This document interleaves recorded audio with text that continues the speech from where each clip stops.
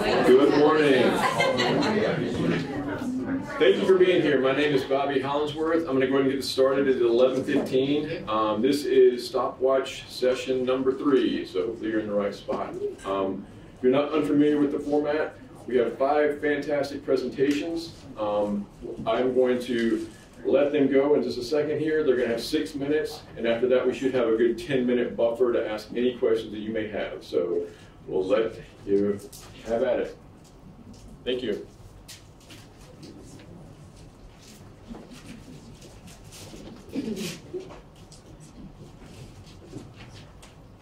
Good morning, everyone.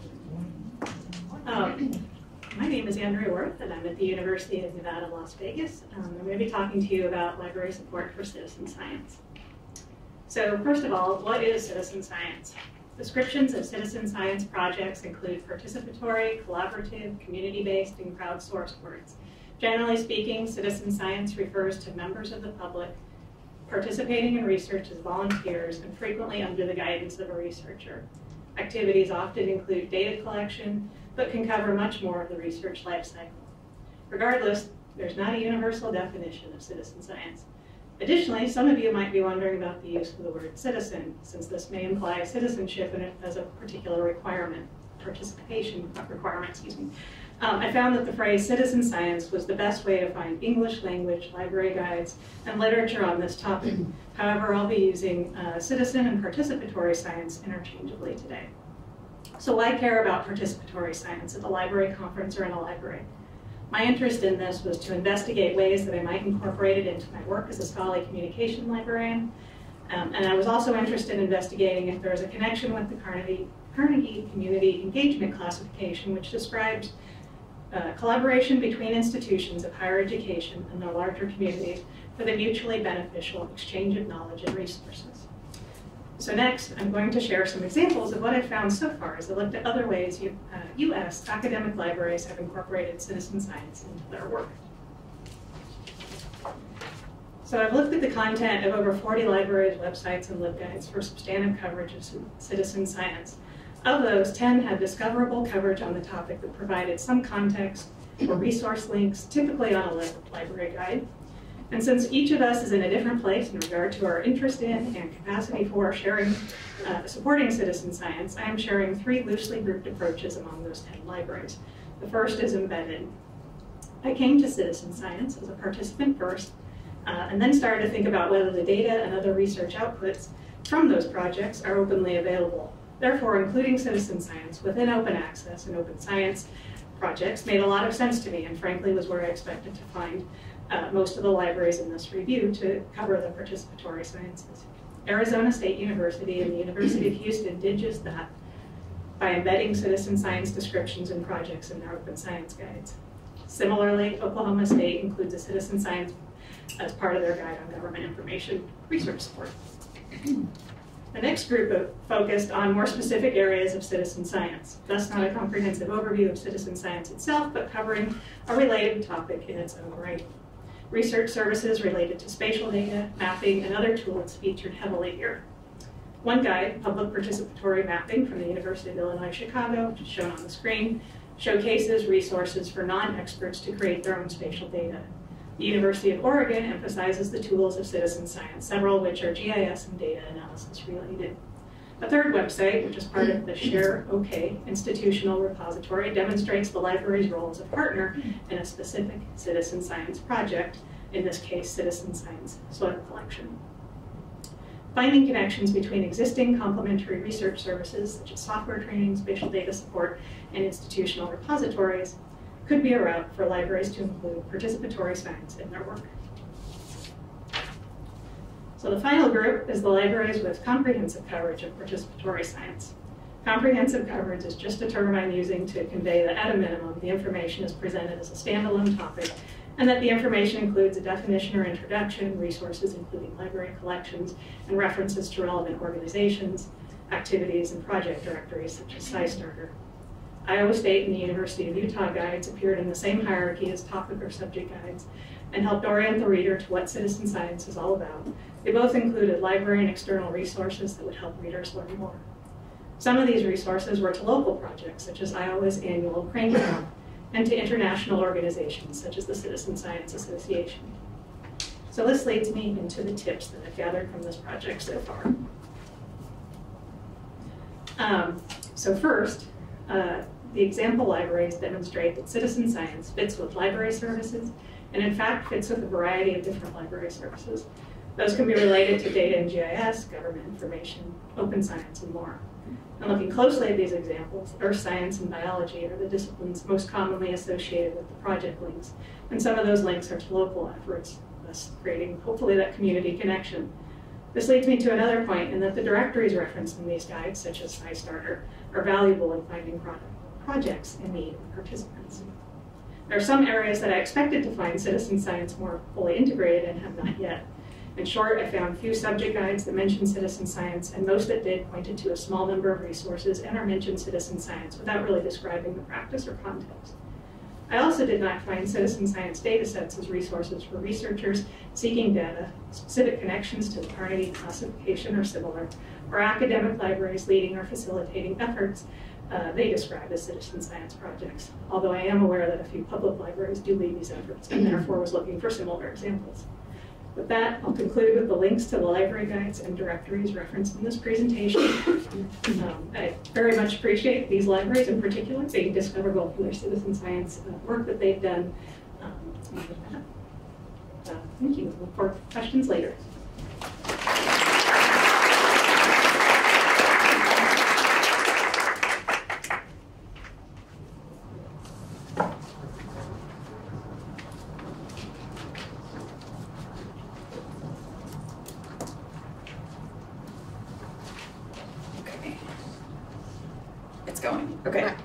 Sorry. Hi, I'm Kate Silton. I'm the Electronic Resources Librarian at ZSR Library at Wake Forest University. Um, and I've been on, in this role for seven months. Um, I'm situated on the library's technology team, and my job is primarily focused on access and discovery with um, colleagues in the resource services team handling licensing and acquisitions. Um, and I've been doing e-resources work in different libraries for 15 years. Hi, I'm Kathy Shields. I'm a research and instruction librarian and our research services lead, which means I coordinate our liaison program and help support collection development on the um, liaison side of things. Um, I'm on our research instruction and outreach team. I've been at uh, ZSR, as we are affectionately known, for um, uh, seven and a half years. And now we're going to share a bit about how we have been working together over the past seven months to support research selection, access, and discovery, and a bit about our future plans. So after 2020, uh, we consolidated our many, many individual department funds into larger disciplinary funds representing social sciences, STEM, humanities, and EDI. Mm-hmm. In my role, I work with the liaisons in each of these groups to identify and advocate for resources within and across these areas. Because liaisons include individuals for whom um, it's a major part of our, our job, like mine, as well as people for whom um, liaison belongs to one small program and is part of their other duties as assigned, um, their comfort level and capacity for interacting with vendors varies widely. So Kate is able to help bridge that gap for us and serve as a go-between for liaisons with vendors, and she's been able to gather statistics to help us determine whether we should select a particular resource um, and verify what content we have um, across different resources.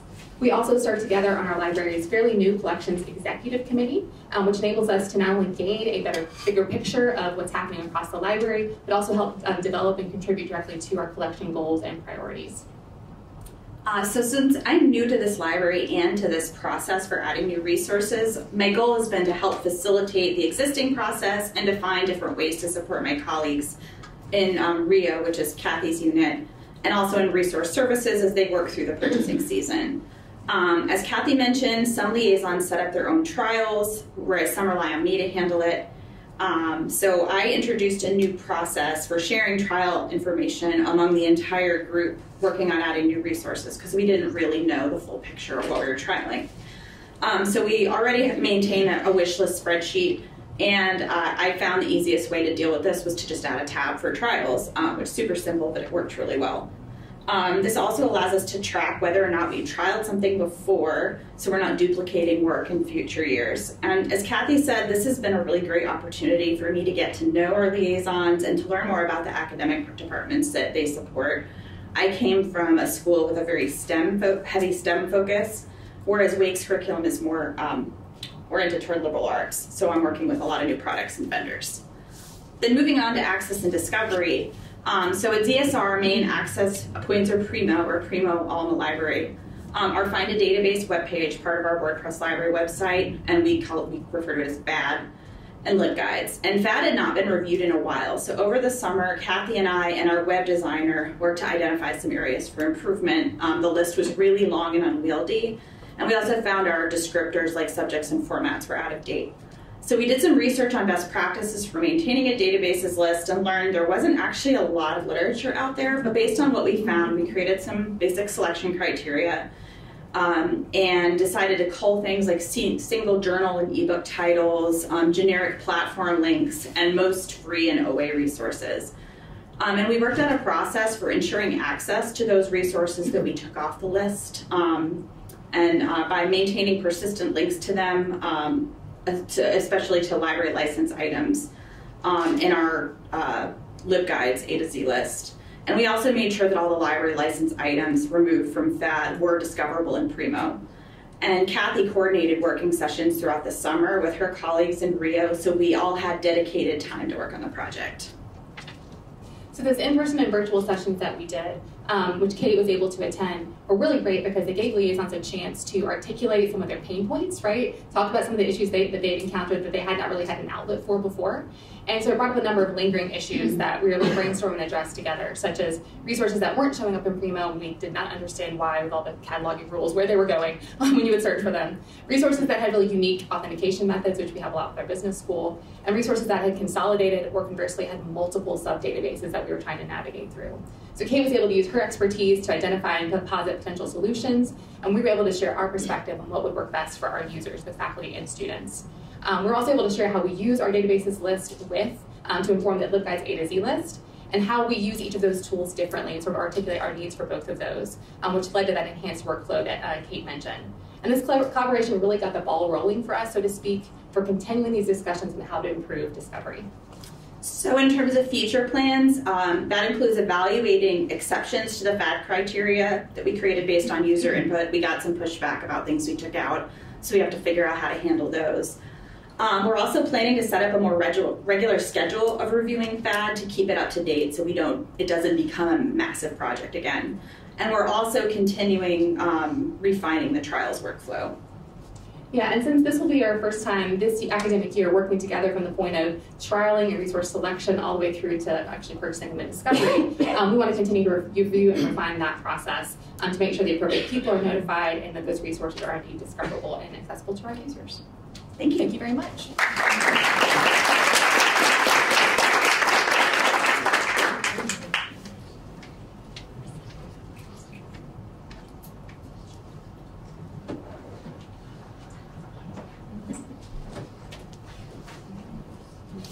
Thanks. Hi everyone, my name is Rena Red and I'm the Collection Sharing and Delivery Librarian at Clemson University, which is fancy code for um, interlibrary loan and getting stuff to people. and also I'm the Interim Collections um, Management and Development Coordinator. So here's a little bit about Clemson. I'm not going to go through, but we're a land grant university um, located in Northwest South Carolina, close to Asheville, in between Atlanta and Charlotte. And um, our library is, I would say it's medium sized. We've recently been designated as an R1. And we have four libraries on campus, two off campus, including one here in Charleston and one off site storage facility. So, what is our collection assessment landscape currently? So, the bigger projects are on an ad hoc basis. So, we appoint a group or a person to kind of look over things, but the majority of it is with liaison librarians like my colleague Bobby here and to do a lot of the collection development and assessment work. So um, other collections work has been on, um, you know, with the STAX team. Um, we also have an information access committee that determines things like budgeting and allocations, but the majority of it has been with the liaisons. So we had a library reorg in 2022 to create a collections and discovery division And within that, there is a head of collections and acquisitions, and also there was an interim collection development management coordinator, it was a 25% position. And I raised my hand and tentatively volunteered to be that person because of my um, perspective from resource sharing. I get to see what people want, what's going out the door in terms of shared collections, and kind of where we stand in comparison with our peers. So with that, I was tasked with looking at what our liaisons are doing and how to kind of ease that burden of assessment. So, what do we want to accomplish? We, of course, want to make sure that our collections are meeting campus needs. We want to determine what we need to support new programs because we have a new strategic plan campus wide. We're getting a new vet school, there's not one in the state. Um, and we're also supporting things like rural health and public health. So, what can we develop and where? Um, we're also preparing our collection for shared print initiatives as a part of our PASCAL which is the partnership among South Carolina academic libraries. We are moving to, we're joining EAST. And so we want to make sure that Clemson's collection can carry its own weight in that group. And we are hoping, fingers crossed, y'all pray for us for a library renovation in the next couple of years. So, you know, we want to know what will we move out? What will we get rid of? What will we relocate offsite storage? What will come back to the building? What will they let us bring back to the building? Um, all while maximizing the time of the liaisons, because again, a lot of these decisions are still on their plate and they are really busy people. Um, and we want to leverage these other resources from other areas, like I mentioned. So, how should we do this? The thing that came to me is three. Is three the magic number? Why three? We have three teams of four liaison librarians in the area of humanities, social sciences, and science.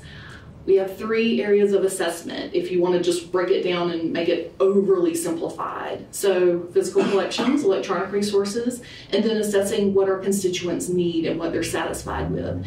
And then when we break it down like this, we can try to make it into a three year project. So, again, what does this look like?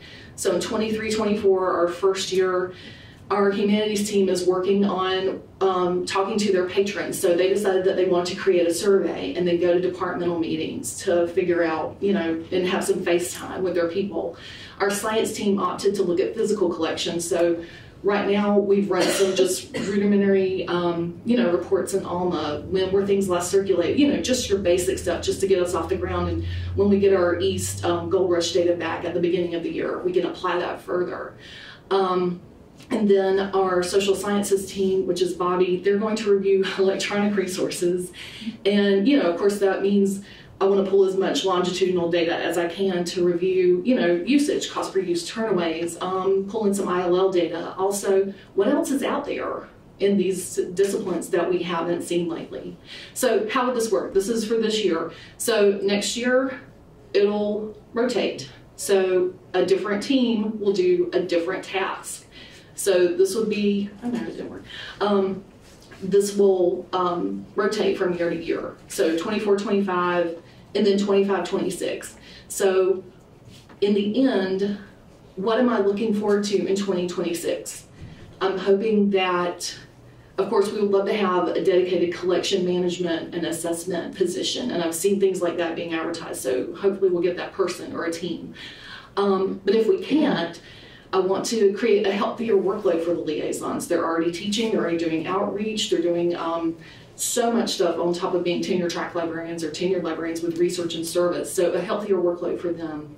Um, integrated systematic approach to assessment, increased outreach to our patrons, of course, better stewardship of our physical and space. Um, and then, of course, streamline workflows for communication across departments and divisions. So if you're interested in more, contact me and hopefully I'll see you in three years with better news.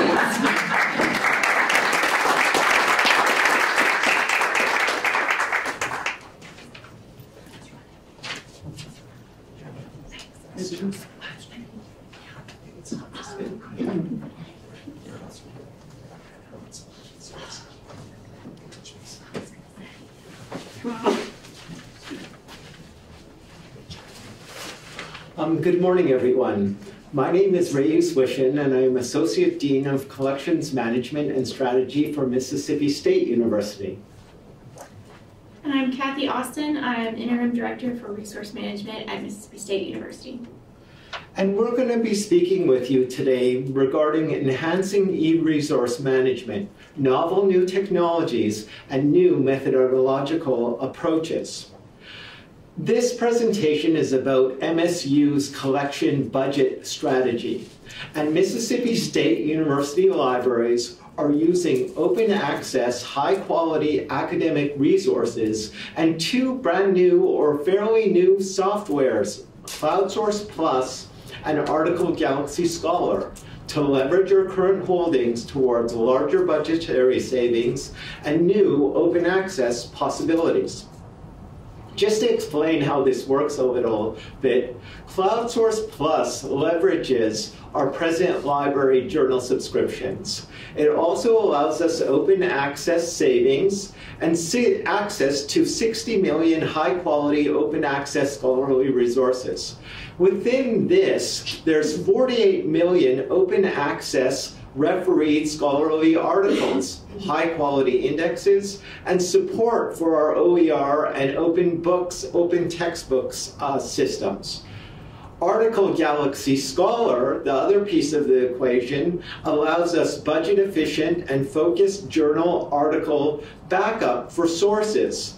It checks all of our sources, including our subscriptions, our open access, and our print collection, to make sure we're not duplicating resources, so we only have to actually pay once for what we don't have in open access or other um, sources in terms of backfilling um, requests for um, journals or collections. And CloudSource Plus aggregates content from high quality publishers. You can see the publishers that um, CloudSource Plus is aggregating in terms of open access, and it's really a stellar list. Everybody ranging from Elsevier to MIT Press to Oxford and Cambridge University uh, Press. This is a large cost benefit strategy. Article Galaxy Scholar fills in and allows us purchase of focused journals and articles of those that aren't available through CloudSource Plus.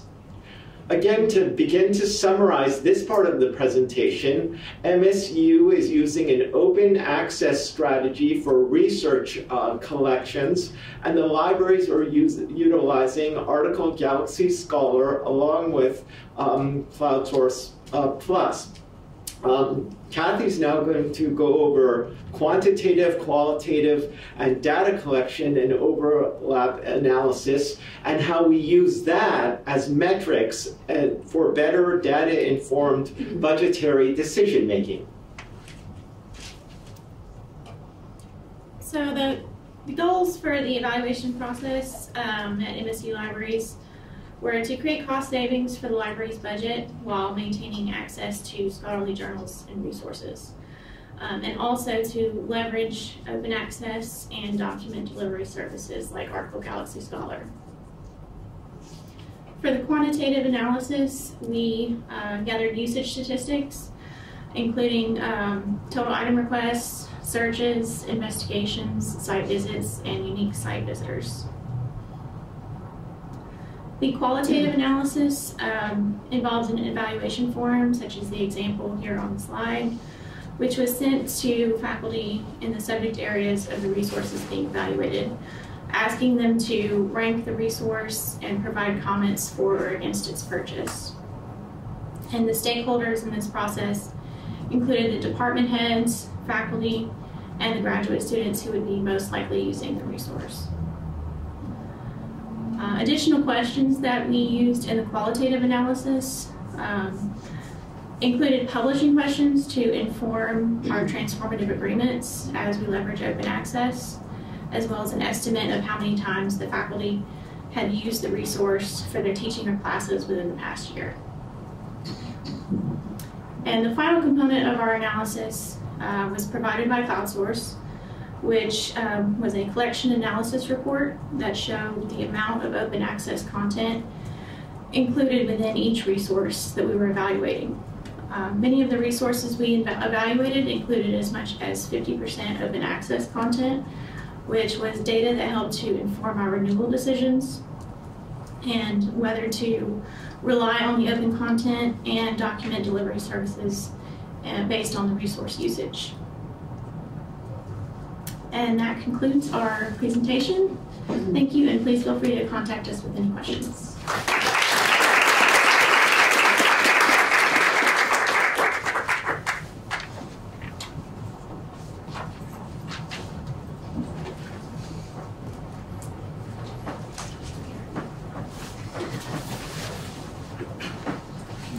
Hi, I'm Amber Gagliardi. I am the Collection Development Librarian at the University of Utah. and I'm presenting on a small pilot project we ran this summer that we're implementing again this academic year. It's on faculty acquisition trips to help build our area studies collections. Um, I just want to know that I work on this project with my U of U colleagues, John D. Moore, Marie Paiva, and Robert Barra. So acquisition trips have been a part of libraries since the beginning of libraries. Um, more recently, they're conducted by area studies librarians and bibliographers with subject and language expertise that travel internationally to select and acquire unique uh, vernacular language materials that are unavailable via mainstream library purchasing channels. At our academic library, we no longer have dedicated area studies librarians. Instead, we have uh, subject, subject liaison librarians that allocate about half of their effort to our area studies centers on campus. Uh, we have two, uh, the Asia Center and the Center for Latin American Studies. Both are funded by the Department of Education's Title VI um, grants. Um, so understanding the importance that we're not we're not getting these unique materials because we're not sending faculty. We thought, well, let's add, or we're not sending librarians. We thought we'd ask faculty because they travel a lot for their research and teaching if they're willing to purchase materials on their trips. So this slide kind of just gives you an overview of our project. It was pretty simple and straightforward. We asked faculty from the centers, we sent them an email, said, hey, if you're traveling this summer and you're willing to select materials on your trip, um, let us know. Um, they, we got three responses. We set up a one hour Zoom meeting with each. We kind of asked them about their knowledge of our library collections, where they were going, uh, what they planned to purchase, and we gave them a one sheet uh, list of guidelines of, you know, to follow on their trip. Um, we inform them that this is a reimbursement project, so um, they have to front the cost on their own, and once they return with their itemized receipts, we'll reimburse them. We set our budget at $1,000. Um, that was because that's the amount the library can reimburse a, a, faculty member or an employee without getting additional campus approvals. Um, so, and we told them that that includes any shipping. So they have to budget that, um, all the expenses. And for this pilot project, those funds came from the Title VI grants. So the centers allocate money to the library for us to acquire materials. And so we just kind of set some of that aside. Then we sent them on their way. They went on their trip. Um, and when they came back, we set up another one hour Zoom meeting. Um, and that's really where we learned a lot. Uh, this picture is uh, from the first trip. It was a faculty member from the World Languages and Cultures Department. She teaches and researches Japanese and Korean pop culture. Um, she acquired 120 volumes of Japanese manga. Um, she informed us during our, our pre-trip meeting that our Japanese language um, collection is a little dated and there um, they have a new course that's a required course for undergrads where they have to um, it's reading modern Japanese literature. So she wanted to select material specifically for that course. Um, she told us that she wanted a full volume or full sets of, of titles, so all consecutive volumes to encourage ongoing reading. She wanted genre beyond action and adventure because that's what our collection already had. Um, she wanted titles that had, had animated adaptations so that the students could read and listen at the same time. And she also selected titles that students had mentioned in her class.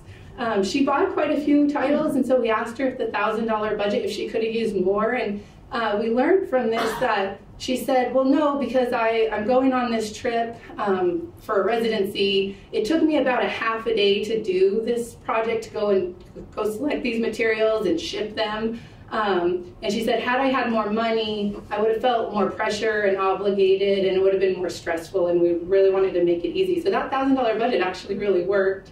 Um, so the second trip was also a faculty member from our same department who studies Japanese.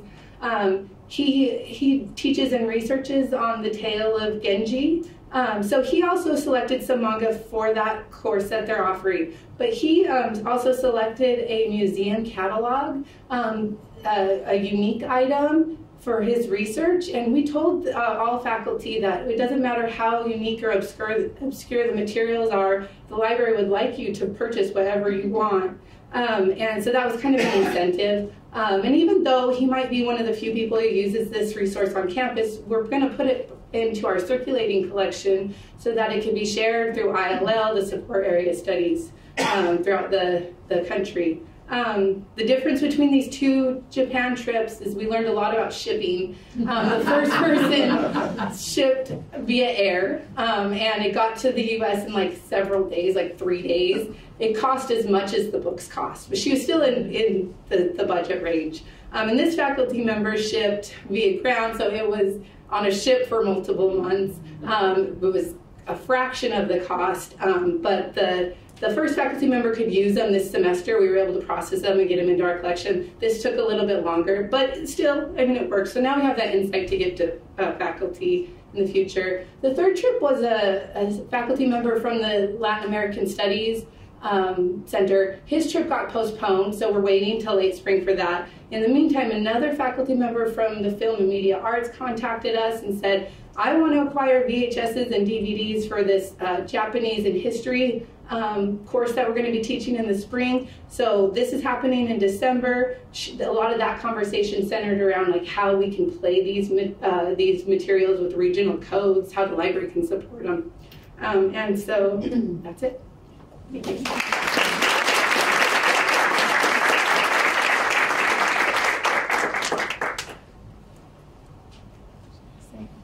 Okay, um, so that concludes our presentations. Does anyone have any questions? And if you do, um, I think we've got a microphone. We're going to come around and, and talk to you.